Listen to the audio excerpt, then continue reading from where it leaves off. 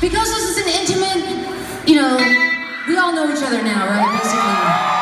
We just crashed.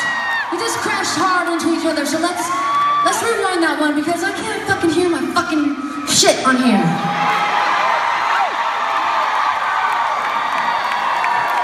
Let's try this again.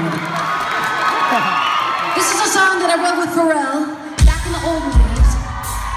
The genius that he is. And I love this song. Do you love this song? Do you love this song?